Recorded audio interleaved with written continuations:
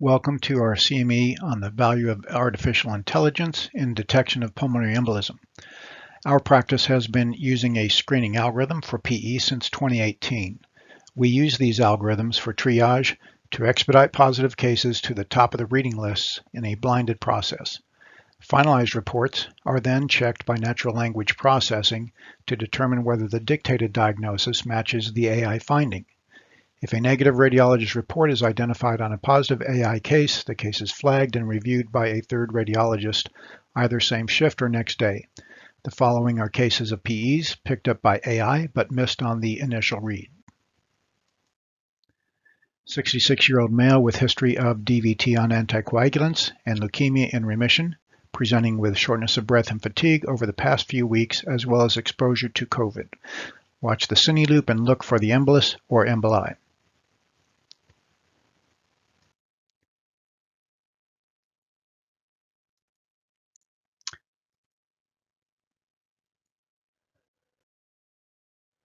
We see here a dominant 3 centimeter mass-like opacity in the right lower lobe superior segment right here. We see multiple small segmental emboli in the right upper, middle, and lower lobes. Look again at the movie and correlate with the screen captures. On lung windows, we see the patient has multiple areas of ground glass and nodular opacities, relatively classic now for COVID, but also with a wide differential.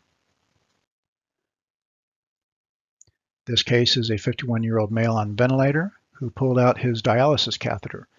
This case had suboptimal bolus timing, however the pulmonary artery density was adequate.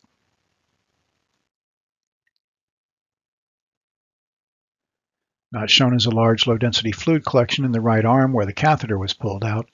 There are a few small pulmonary emboli saddling the right lower lobe posterior and lateral segments. On the sagittal movie, is a very nice vascular cutoff sign caught in the screenshot on the right. We believe this emphasis on searching for a vascular injury was a likely distractor. Next is a 32-year-old female with a history of PE and DVT on Coumadin, presenting with lumbar pain as well as intermittent mid-sternal chest pain for a few days. The incidence rate for positive pulmonary embolus ranges from 10 to 40%, with higher rates in high-risk patients. Up to half of these can have associated DVT.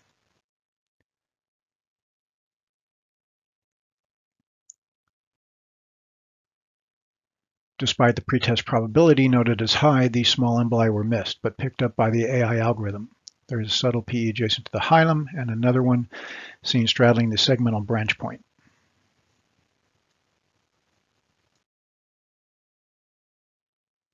These emboli are more conspicuous on the sagittals than the axials.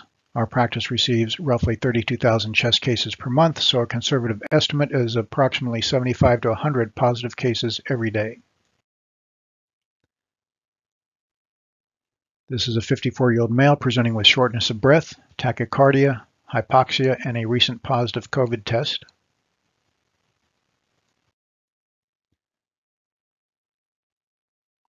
Even on soft tissue windows, we can appreciate the extensive disease in the right lung.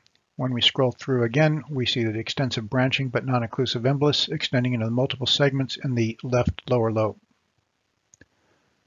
Right there. Here, lung windows reveal extensive bilateral ground glass and interstitial disease, and it's easy to get bogged down in lung disease differentials and forget to look at the vessels. Again, on the sagittal series, long branching embolus coming in right here.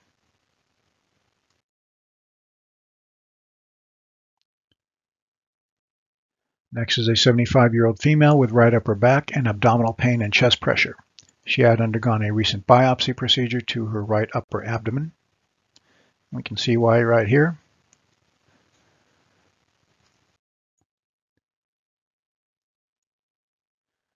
There are also some moderate emboli in the right lower lobe. The study was a combined chest, abdomen, and pelvis with the bulk of the dictation, of course, discussing the liver findings. In the abdominal images, we see the central hepatic mass as well as some satellite masses, which was later determined to be a cholangiocarcinoma, as well as the adjacent ascites. In the coronal series, we see ascites over the liver dome, the central hepatic mass with irregular margins, and the bilateral segmental emboli first on the left and then the right lower lobe.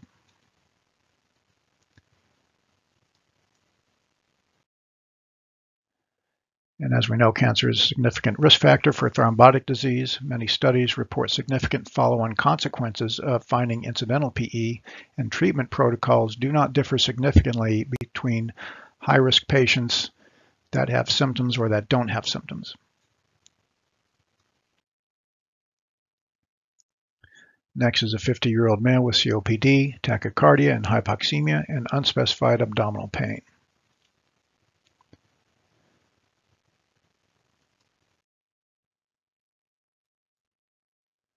Lung windows, there were patchy areas of ground glass disease compatible with acute COVID-19 process, which could certainly explain the clinical symptoms, as well as this large central embolus.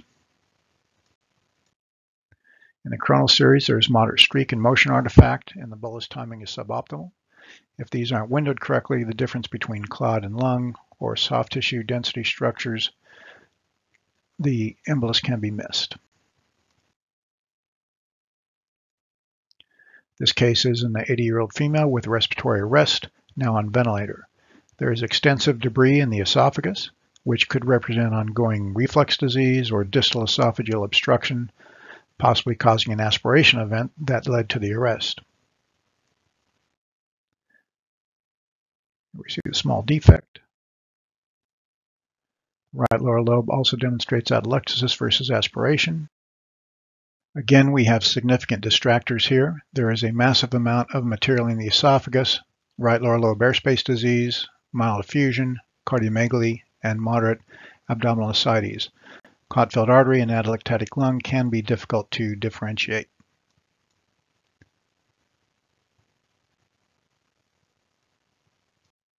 This coronal series also shows the subtle nature of these, and again, AI is a good backup here because we have all missed these.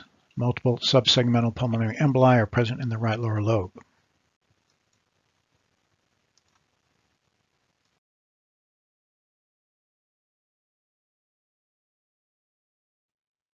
Here is an 84-year-old female with left chest wall pain. Axial series shows mild cardiomegaly, small bilateral effusions, and some irregular subpleural thickening or atelectasis.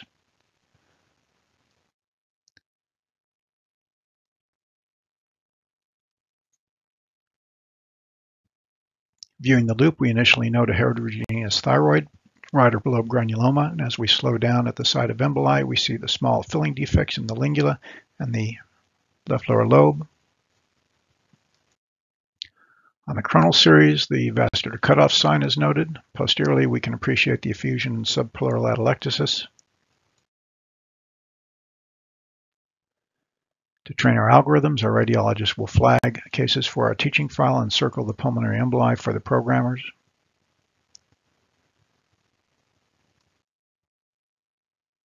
Next case is an 86-year-old with dyspnea on a ventilator. Even windowed for the pulmonary artery, we can see significant bilateral lung disease and a TAVR coming in right there.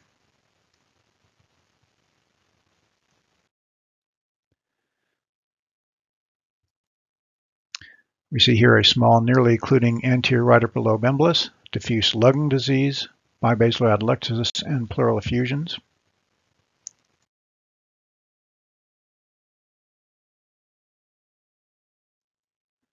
Lung windows demonstrate the now classic appearance for COVID, which again is a major distractor.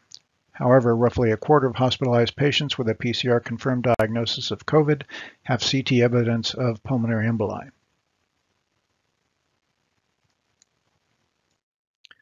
Sagittal series shows this to be an occlusive clot, and again emphasizing the importance of scrutinizing all the different planes or series projections as some definitely are more conspicuous than others. Next case is an 81-year-old female with pain and cough on breathing. We can appreciate a dilated debris-filled esophagus as well as bilateral lung disease. Of course, she's coughing.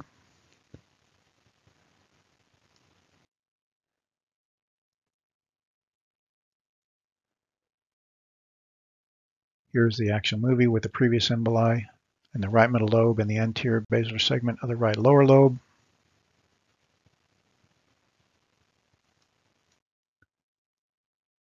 Coronal series nicely demonstrates this separate emboli. Lung windows also demonstrated areas of bronchiectasis and bilateral chronic lung disease. Similarly, sagittal images again nicely demonstrate the emboli in the right middle and lower lobes.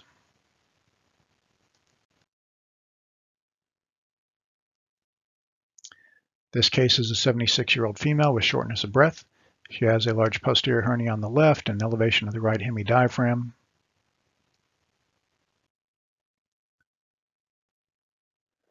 Axial cine again shows the moderate right upper lobe lobar and segmental embolus and the left-sided hernia containing the stomach. On the coronal series, we see the elevated right hemidiaphragm and the embolus straddling the apical and anterior segmental arteries. On the sagittal series, we can again clearly see the embolus. These other projections are extremely valuable in confirming presence of PE.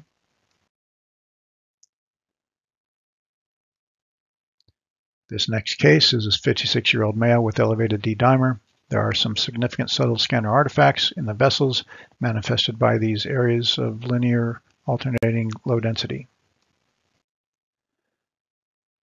Right there, right there. We see two rounded areas of low density in the median lateral segmental arteries, and when we slow the scroll rate, we can see the confusing linear artifacts as well as the more rounded filling defects more discretely but it's easy to blow these off as artifacts as well. Using point localization, the axial filling defect is visualized as a discrete central arterial defect on the coronal series. And on the sagittal series, we again see both filling defects as more rounded and larger, definitely different from that of the more linear artifacts from the scanner.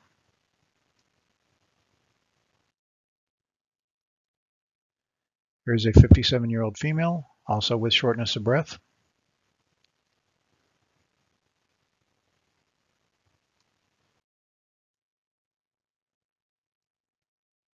See the small filling defects. Again, the bilateral emboli first in the left lower lobe, followed by the right middle and right lower lobe. These are non-occluding proximal emboli. And again, a major distractor is diffuse ground glass lung disease, a injury pattern worse in the upper lobes that we now most commonly associated with COVID lung disease. Filling defects in the left lower lobe on these coronal images may be between the vessels. A sagittal series uh, was not given, but likely would have answered the question. Always look for more emboli. Here's an 82-year-old male with known trauma, a fall with multiple rib fractures, you can see the rib fractures coming in here on the left.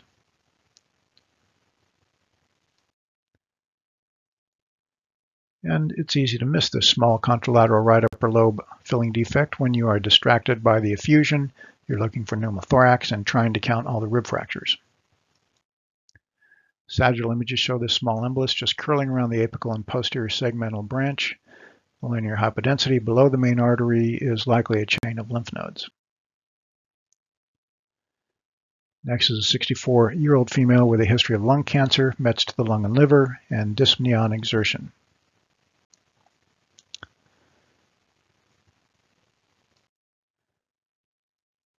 See that little tiny defect, but however, multiple distractors are present, retroperitoneal fullness, ascites, generalized cachexia, COPD on lung windows, and granulomatous disease. Sagittal series demonstrates the linear branching of the embolus extending into the superior and inferior lingular segments.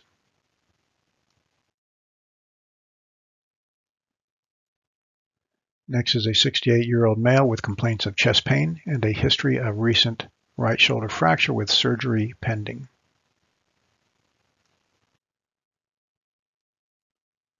We can appreciate the right proximal humeral fracture with subtle clot along the posterior segmental branches. Cloud is better appreciated on this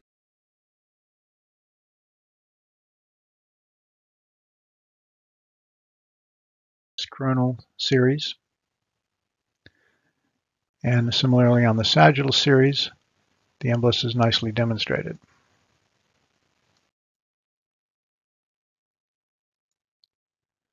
This is a 60-year-old female with end-stage renal disease and a history of pulmonary embolus, but not on anticoagulants. The peripheral subsegmental clot is subtle because our attention is immediately drawn to the large bilateral pleural effusions and accompanying atelectasis. The sagittal series demonstrates bilateral pleural effusions and the single small central intravascular subsegmental clot.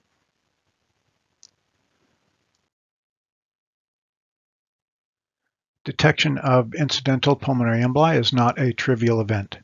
Multiple studies have shown a significant number of patients have recurrent emboli, pulmonary hypertension, and sudden death events after detection of IPE. In high-risk patients, such as those who have cancer or COVID, there is no difference in treatment between symptomatic or asymptomatic patients, especially above the subsegmental level. Our practice has internally established the value of AI for triage and in detection of initially missed pulmonary emboli.